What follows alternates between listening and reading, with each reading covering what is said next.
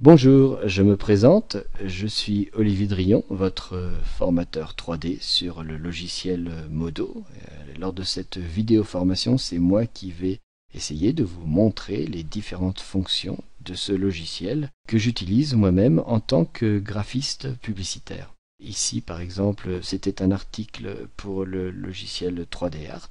Le personnage principal a été euh, créé dans le logiciel ZBrush, il a été sculpté dans ZBrush, mais ensuite les différents éléments qui composent cette vue, que vous pouvez voir, ont été assemblés dans Modo.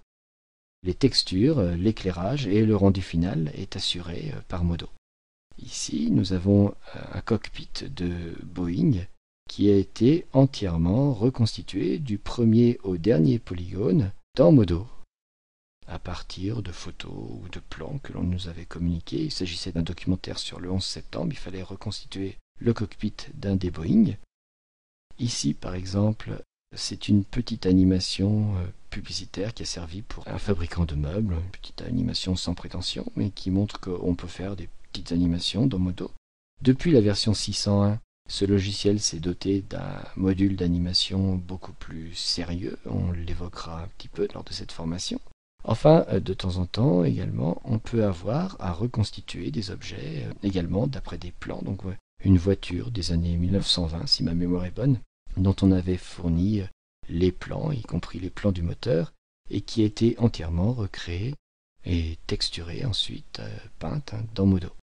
Alors nous, nous allons commencer plus modestement. On fera lors de certains ateliers, pour commencer, pour prendre en main le logiciel, une petite carafe on apprendra à la modéliser. Alors euh, on profitera de cette occasion pour se promener dans l'interface. Nous avons deux onglets qui sont consacrés à la modélisation. Un autre qui est consacré ensuite à la peinture pour peindre sur un modèle.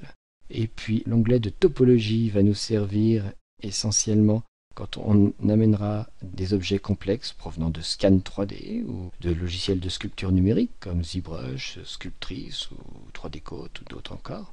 Nous éditerons bien sûr les UV, nous ferons un petit peu d'animation et on s'intéressera bien sûr à la fin au rendu final qui est en train de se faire de l'image finale qui nous donne approximativement en quelques secondes. Voilà comment fonctionne en gros le logiciel Modo que nous allons explorer lors de cette formation.